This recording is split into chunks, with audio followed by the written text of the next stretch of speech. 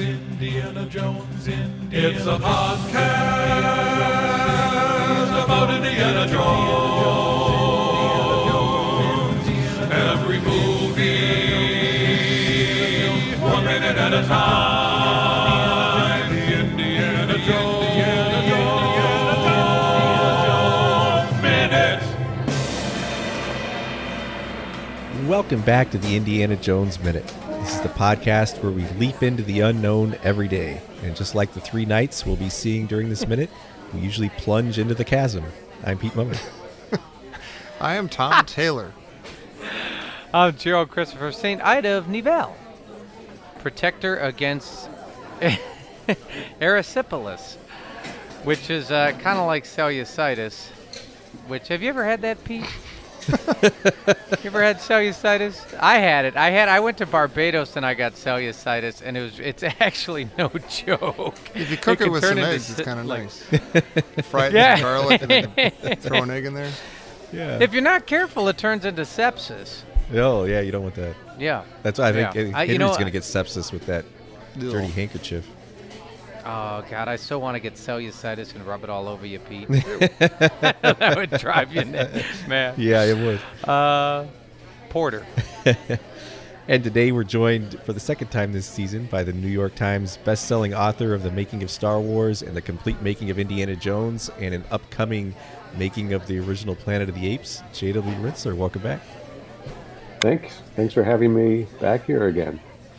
Yeah, it's always a lot of fun to have you. And today we're going to be talking about minute 108. Minute 108 begins with Indy breathing a sigh of relief that he made it through the tile maze, and it ends with Henry telling Indy that he must believe. Now, uh, we touched on this yesterday, but Donovan is now entering the crucible here.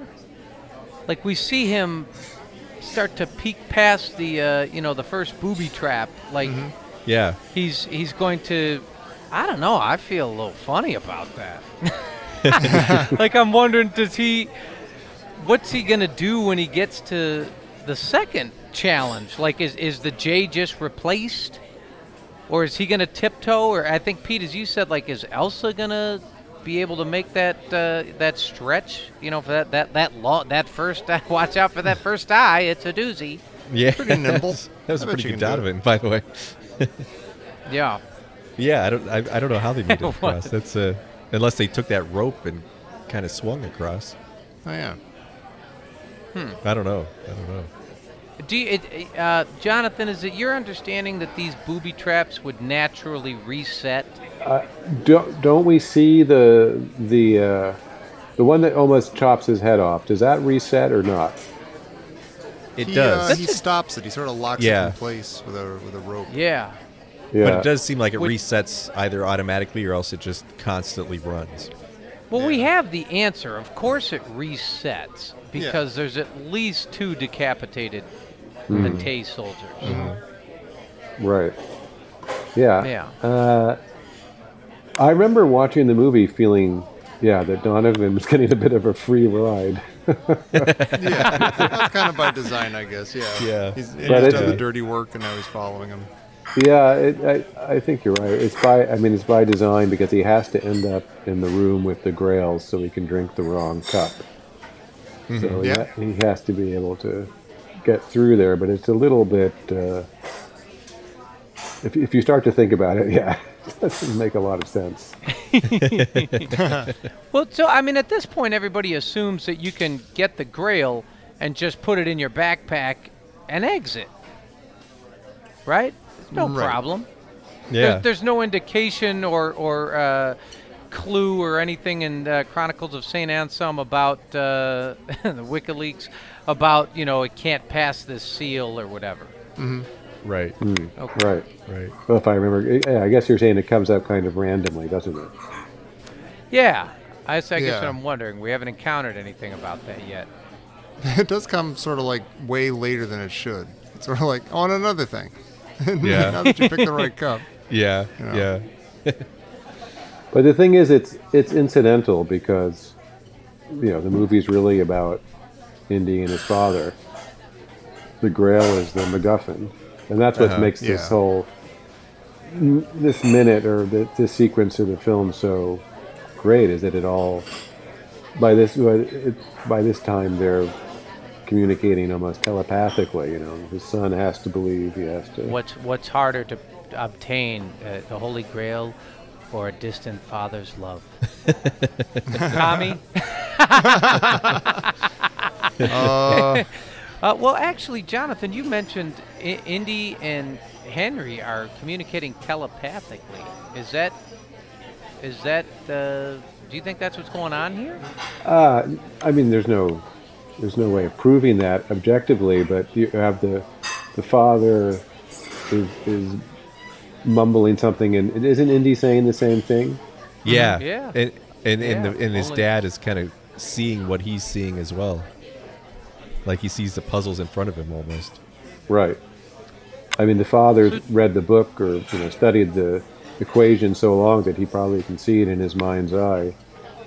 Um, but yeah, I mean, it feels to me like they're you know the, the, bond that they've sort of nurtured during the first hour and a half is now is now felt at this key moment where he has to Right. take this step into the void, which is such a great, uh, you know, such such a great um, uh, showing, not telling moment, you know, in the in, Yeah, in yeah. cinema. And then I, I like that Indy kind of walks through this narrow opening that's a lot like the kind of the cave, little narrow cave he walks through in the Temple of Doom when he comes out into the sanctuary. And he comes out to this like this giant abyss before him. And the music is spectacular here. It's almost mm, operatic. And it's it's a really nice effect when he's looking down into the chasm and the camera is almost like a pendulum. Like it kind of swings out and back a couple of times. And it's really Yeah. dizzying. But it's a very Yeah. nice shot. Yeah, ILM did one of its best effects ever there. Yeah, yeah. This looks exactly like the uh, the Leia Luke swinging on the Death Star to me. it does Is that- kind of. Does it? Yeah, I don't, there's little bit. something about this abyss. Yeah, and also like the, uh, I don't know, the the rocks are vertical. You know, it, it kind of looks like the way the Death Star is, like the walls of the the, the Oh, interior sure. of the Death Star. Yeah, it's kind of a vertical shaft looking thing The with a uh, little precipice. the addition of Indiana Jones, like in the image, you know, you can kind of tell that he's like, you know, put in there afterwards, like this is a painting or something. Uh-huh. It looks a lot like uh, Indy and Willie and Shorty emerging from the, uh, you know, the, the the mine tunnel on the cliff. Right, right, yeah, Temple of Doom. exactly. Yeah. Yeah, got that kind of feel to it. yeah. I've always been sort of disappointed that like isn't the whole like like the name of this test isn't it like the or something like from the the leap from the lion's head The leap of Right. faith, or yeah, yeah. but there's something Yeah, about a there's lion's lion- head It is- like yeah, it leaping is from the the lion's from the head lion's Well, somebody head, here yeah. put lion's head, so that person should a- Yeah. should answer. yeah It does say the leap. Only in the leap from the lion's head will he prove his worth. yeah yeah yeah and so it always sort of like I, I want like this opening to be like the lion's mouth or something it seems like sort of an afterthought that there's a lion's head like facing like it's not even facing the the, the chasm or anything it's just sort of there as like a Right. Uh-huh. like a door knocker or something Uh huh. welcome to the leap of faith Yeah. i'm a lion But then once once he Well, does get to uh, the leap of faith, uh, we see kind of what was represented in that garage sale painting in Henry's house. We see the chasm, and in, in his house, he had the painting of, of Henry opens up the Grail diary, and it's the drawing of that painting, and it's the uh, the chasm, and it's got some knights fall, three knights falling down into the chasm. And I think it, it's interesting. Who are these three knights? Like, are they rivals? Or are they people that got here before the Grail Knight? Or now that they're immortal, does the Grail Knight and his brothers they just run and jump in there for fun? Just jump in there for we. or were they not? I mean, were they? Uh, they weren't worthy. They didn't take the leap of faith. See, what's interesting is what if you stand there and you don't take the leap of faith? I mean, if you didn't take the leap of faith, you would just stand there or turn around, yeah, right oh, yeah, right? yeah. bridge must be out And how did like how did those knights fall? Like unless you were to jump diagonally when you step off, Yes. Yeah. or if you were to make how do you? But how, like one of the guys is almost all the way to the end, and how do you fall off when you're almost all the way to the end? yeah.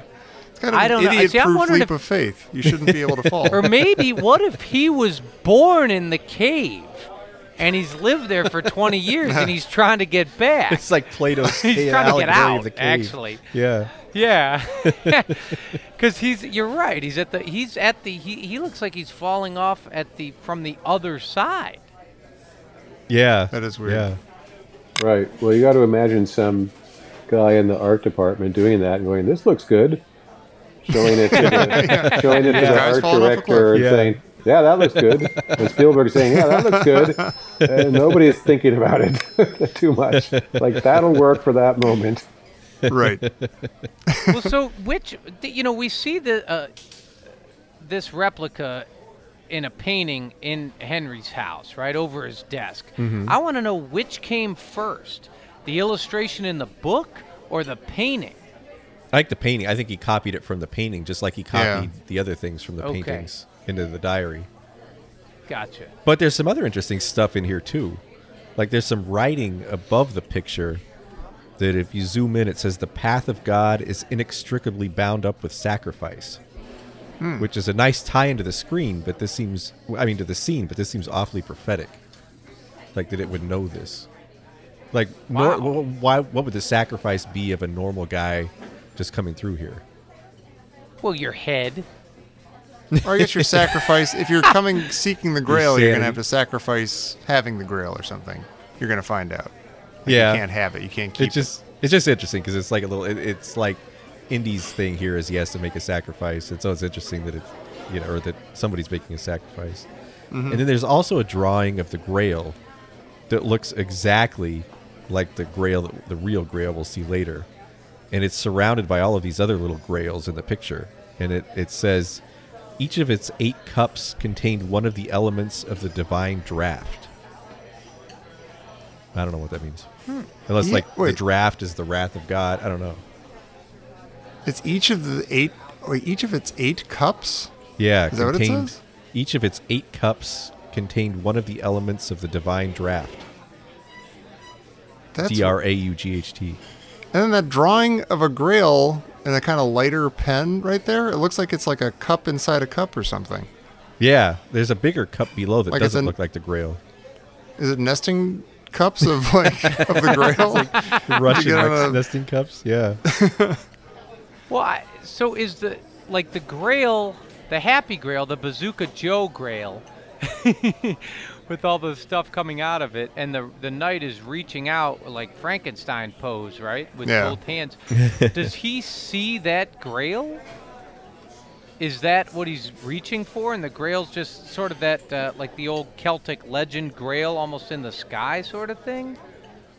That's kind of Yeah. how Is it feels just- to me. Is yeah. that in Yeah. his mind's eye? yeah is it just like an allegorical thing Right, exactly. It reminds me of Excalibur, the movie, where like he just sees like this giant grail like over the or like in the some castle or so. Yeah, he's got like a vision of a grail and he's kind of following it. Well, Pete, you bring up a good point, though. I don't know what, what Indy's sacrifice here is. He's coerced into all this stuff. Well, I think I think he is making a sacrifice, and I well, sort of, but I think, I mean, I keep talking about how I think this part of the movie mirrors the beginning of Raiders, like it's mm-hmm. kind of a you know these are the two bookends, and in the first two, you know, he doesn't really have to show a lot of faith in order to get the power from these supernatural things, but now he's at a place where he has to exhibit some faith in order to make it through. And it's no longer you know he's just out to acquire an artifact for a collection. Now it's he's making a decision based on he loves this guy and this guy's about to die Well, you know, what, what is this one? The lion, the leap of lion's faith? What is it? yeah I think Oh, it's the that Leaping Def Leppard Lions. album you were Yeah. gonna get. Yeah. a question for you, Jonathan. You know, lions seem to have prominence in this film, and this last booby trap or challenge um, is the Def Leppard album, "Leaping Lions." Uh, what, what, why do you think? Uh, why do you think that is? What do you think? What, what's all this business with lions? We saw lions on the way into the, you know, the very first challenge. I think at some point in the movie doesn't uh, Doesn't doesn't uh, Henry mention a lion of Judah? Something else about a lion? Well, I think that's beyond my kin. I accept that you know lions represent courage, and it takes courage to take the leap of Yeah, faith. that's nice. Yeah, Yeah, Yeah. that's good. And I, I think, it, I mean, I, I do think he, in terms of sacrifice, I mean, he's, if for some reason, somehow he's miscalculated and he takes a step off, he's going to fall a long way. Yeah. yeah, yeah, that's true. And he's willing You to know, uh, sacrifice his life for his dad. We wondered where. What do you think that pit goes to? Down. Yeah, just officially down. yeah. Like I mean, you, is I, I feel like there's something again supernatural about all these booby traps, and I, I'm not I'm not satisfied with that uh, pit having a bottom. Yeah, I, I think they're not supernatural until this point, but I feel like that pit feels supernatural. Like that pit feels like there's no bottom. Yeah, or or it goes like straight to hell, Yeah. Which sucks for those knights. They tried so hard. That's what's so nice about that film, though, is it imagine manages to put out so many ideas that could have really just seemed ridiculous. Mm-hmm. And it all goes. I mean, he goes across this bridge, and then there's this knight. I mean, how old is the knight? Who? Well, I don't want you guys to get ahead yourselves. But, I mean, you have to accept. The movie works so well that you have suspended your disbelief so securely that it can just do what it wants. That's how Yeah. successful a movie it is. Uh huh. You know, and really, there are really very few movies that, that do that as well as the Indiana Jones movies. why why is that? Do you think it's just sort of the power and magnetism of Harrison Ford and Indiana Jones, or or is it also the writing?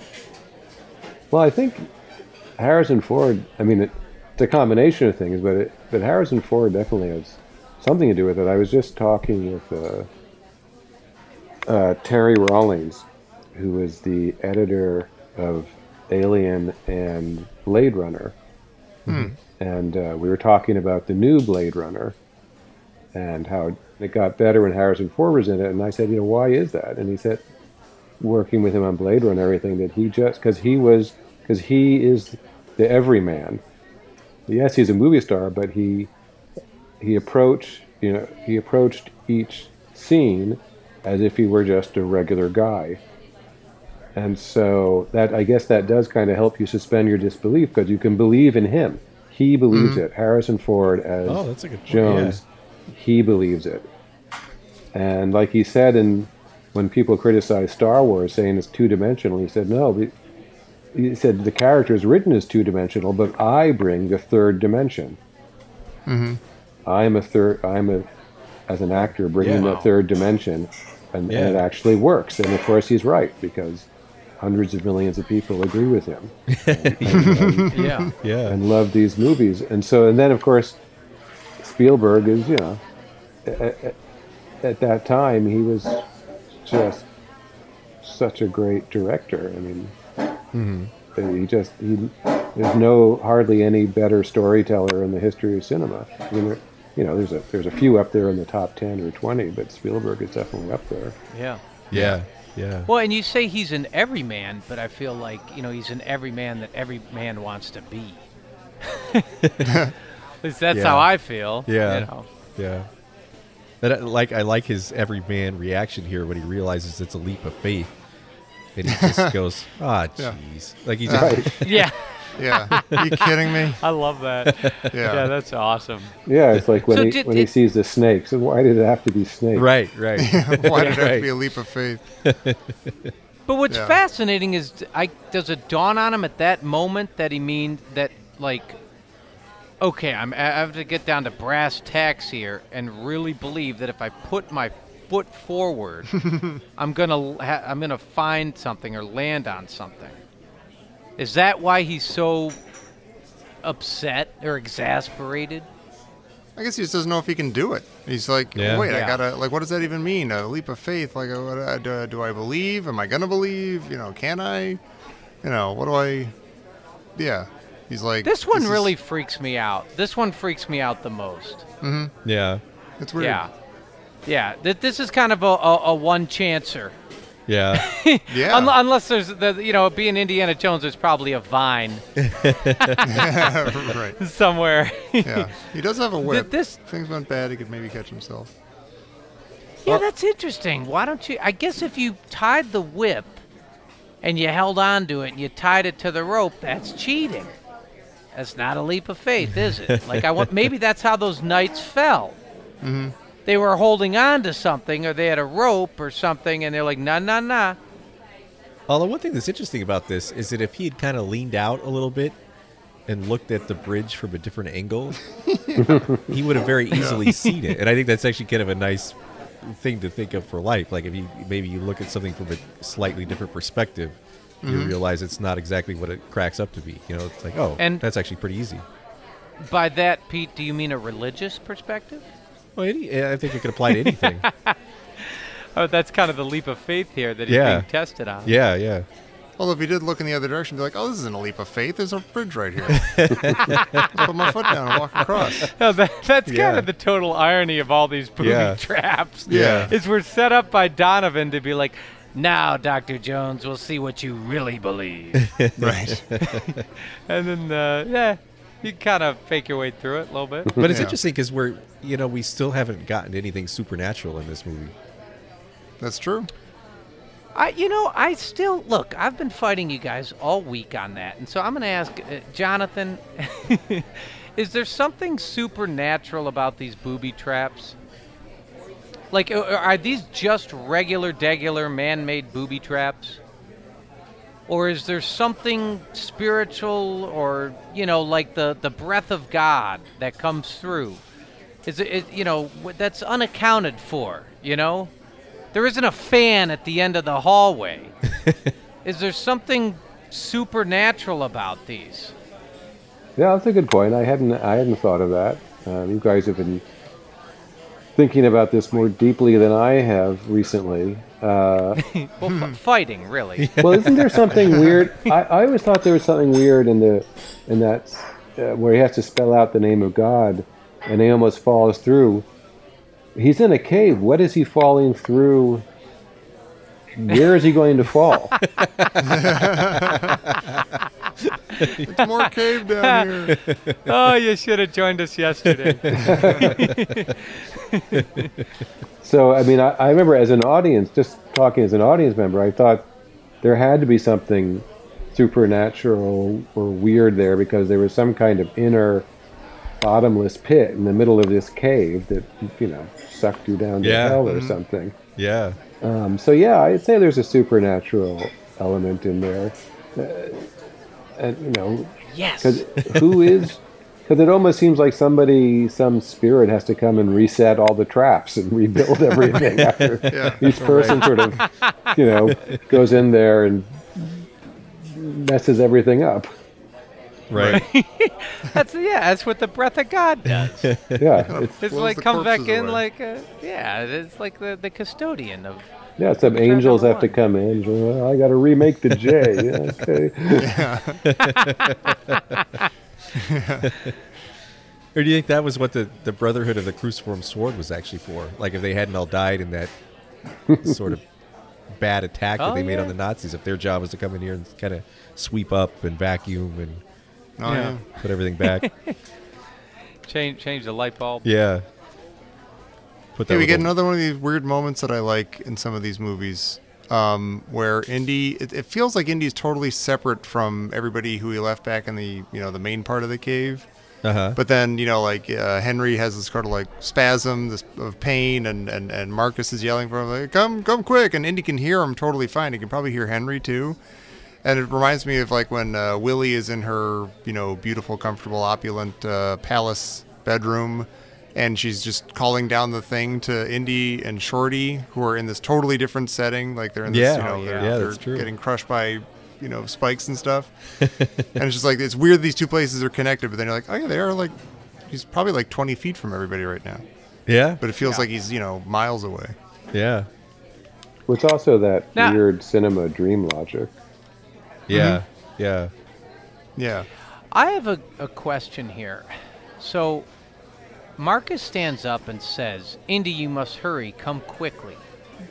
And it's not Sallah who says that.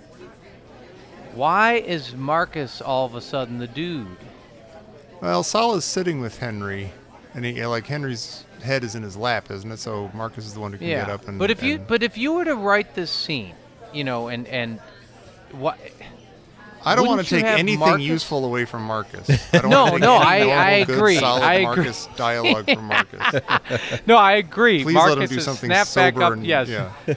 of course, of course. He's doing. It is a great line. This is our good old Marcus, our buddy Marcus that we love. but it is fascinating that, like, you know, i Henry's not in Marcus's uh, lap there. Mm-hmm. Because they're they're the ones who are, are really close and know each other, and the way this entire film is set up with the characters, y- you would expect Sallah would be the one who would who would take the action here. I think it's Marcus because Marcus is more of a link between father and son. Hmm. That's a good point. Hmm. Yeah. Yeah, I think he's great point. he has more of a history with both of them, Yeah. whereas Sallah is more Indy's pal. Mm-hmm. Yeah. Yeah, That's that's good. right. Yeah, because he's kind of the link between them at, at the beginning too. When you know when Marcus drives him over to Indy's dad's house. Oh, absolutely. You know, why is it do you think Marcus came on this journey, Jonathan? They make a big deal of that at the beginning. Like, you know, tell tell Donovan I'll take a ticket. He goes, I'll tell him we'll take 2 mm-hmm. What do you think's going on here? Is is is Marcus just truly just worried about his great friend? Was he worried about Indy? Well, I'm trying. I think he's worried. I I think in the beginning he's worried about Henry. Yeah, uh-huh. Yeah. I, I think so. Yeah, and then also, you know, again, it, it's, taking the more cynical view, is it's nice to bring him along as a foil for Indiana Jones Right. Until they get Well, yeah, they got yeah until they get to Sallah. Right. Yeah, and I'm curious if, if part of Marcus just wants to see the Grail too. Like part of him wanted to come along just because he's like, hey, this I, I want to be part of. You know, I want to see this. I don't want to just hear about it after it's put into a government warehouse somewhere. yeah. Right. I wonder if that's like what happened at the end of Raiders, uh, sort of influenced his decision to go. Yeah. Hmm. Yeah. Yeah, I, I sort of felt that. I remember watching it. It's like, yeah, he gets he gets to go on this adventure. Yeah. Yeah. And he's such a Denholm Elliott, right? He's such a great Yeah. actor. Yeah. Oh yeah. Absolutely. We love Oh yeah, he's great. Yeah. And, and uh, we've mentioned before, but I think he was really, at this point, he was pretty sick and he was suffering a lot through this. And I think it, Yeah. it, uh, it's amazing that he he made it through this. Yeah, because that was a pretty physical shoot. Oh, yeah. We went to several Yeah. locations. Yeah. going really yeah. fast. Well, uh, yeah. Any other thoughts Yeah. on minute Uh. I just wanted to say, when you were talking about him coming out of the cave, Uh-huh. if you want to be Freudian about it, it's like a rebirth. we do. Oh, very nice. Oh, I wow. like that. Yeah, that's really nice. He's reconnected with his dad, so now he can be reborn as a. yeah, it's like he's going to be reborn as a more spiritual and somebody who has more of a relationship with their father. That's wow. good. I'm excited to see this uh, this reborn guy in the next movie. you know what? I wrote. I, I'm sure you guys have all read the Indiana Jones novel I wrote. Uh, yeah. Yes, sir. Have any of you read it? Any of you even know that I wrote one? No, it has a great Oh, cover. about it, yeah. I really like the cover. Oh, okay. Yeah. Yeah. Greg Knight did that. I worked on worked on it with Greg. He's he's a fantastic artist. Um, but it was so much fun. Because I'm trying that book. Oh God, I can't remember where it comes in the continuity. But I got to write a scene with with uh, Indiana Jones and his father, and it was so much fun to write that scene. Awesome. Uh, just because the char- just because the characters were so well written in that movie, it was so easy to imagine uh-huh. them talking. Uh-huh. Mm-hmm. You know, you, you just That's you just amazing. sort of put yourself into the zone, so to speak, and they just talk. So that you know how they they know you know whatever the topic was that they had to talk about what each one, each one of them would say, and it's because the the one movie was so well done, and the actors and you know Sean Connery, of course, so great, uh, and they thought he would get a at least a nomination for supporting actor Academy Award, but it was not to be, I guess. I don't remember what the competition was, but he was robbed. Yeah, definitely. Well, j- just so everybody knows, that was, it was Indiana Jones and the Mystery of Mount Sinai. Is that right? Yes. Yeah, Right. Okay. and it's got the great uh, the guy with the mechanical arm on the Yeah, that's Yeah. that's, fighting. that's awesome. yeah Yeah, I resurrected that guy from Raiders. yeah Right. yeah that's very cool. Well, uh, I think you you were asking before uh, if we're going to be doing the the next uh, installment, and that's a resounding yes. Well, Oh, count sure. me in for at least a minute. I I can. I that was I was around for the. I wasn't on set or anything. I went only went on set for a day, but um, I do have lots of stories because I was, you know, you even working in the office. There were things that trickled down to us, and there was a, a lot of good stories attached to it. Oh, it's awesome. Yeah, yeah, I- I'm really excited about that. Um, well, wait a minute. Speaking of something getting excited, Uh oh. Huh? Oh oh my God. Machines coming alive. it is always fun. uh, this just in from Professor Christy Porter. Why did they make this so easy for the professor of medieval literature?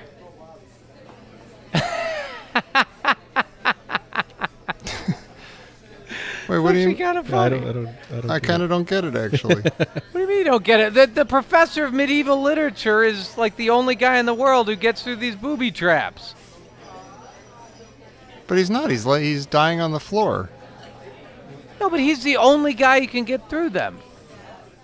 Like, I mean, he's the guy who did all the research with all the answers. I know he physically didn't get through them, but you know. Um, Great. we move, thank uh, Professor Porter. That's Really great. enjoyed that. Thank you. That was really good. It gave us something to think about. What was actually really good, uh, Jonathan, this was a lot of fun. Thank you for joining us today. Yeah. Uh, you're very welcome. Thank you for having me. And I, I oh yeah, and I, I highly recommend. Uh, I mean, I haven't read uh, Indiana Jones and the Mystery of Mount Sinai, which is on my list, and I will do that. But uh, you you reference uh, the mechanical arm in your complete making of Indiana Jones, and that is uh, by far and away has been indispensable for the making of this podcast. And I know Oh, yeah. several of our listeners read that regularly too. And I just I can't recommend highly enough. If you don't have it, get a copy. yes, get five copies. Yeah. Give them to your friends. I get a royalty on this book. I, ac- I w- I would actually, I never have, but if everybody bought five to twenty copies, I might get it. Might see ten cents one day. Come on, gang. we can do it.